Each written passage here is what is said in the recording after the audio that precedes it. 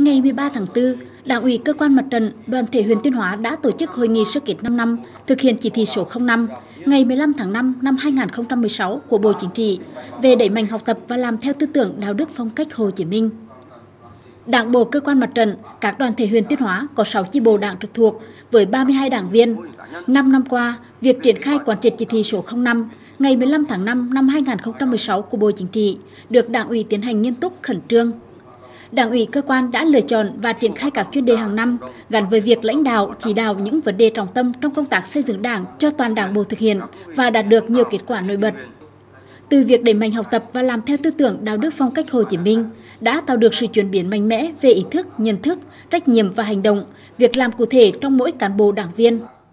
Trong đảng bộ đã xuất hiện nhiều tập thể, cá nhân có những mô hình làm theo, những việc làm sáng tạo, linh hoạt phù hợp với điều kiện thực tế của địa phương, đơn vị và lĩnh vực công tác, góp phần quan trọng trong công tác xây dựng đảng bộ ngày càng trong sạch, vững mạnh.